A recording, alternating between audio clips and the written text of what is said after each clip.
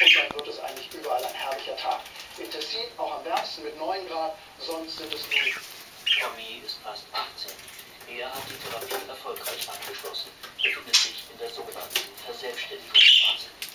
Also ich bin hier reinkommen mit der Haltung, okay, ich mache das jetzt zwei Jahre und ziehe ich das durch. Gehe ich zu meinen Eltern.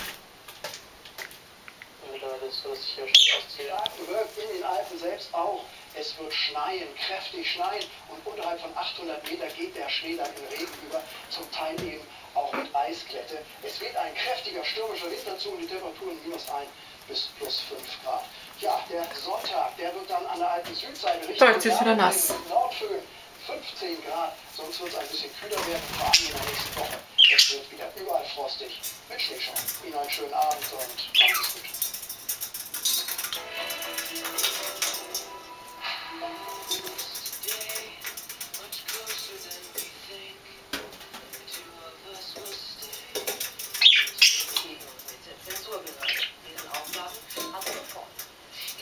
Akademie lobte Jossas Werk heute für seine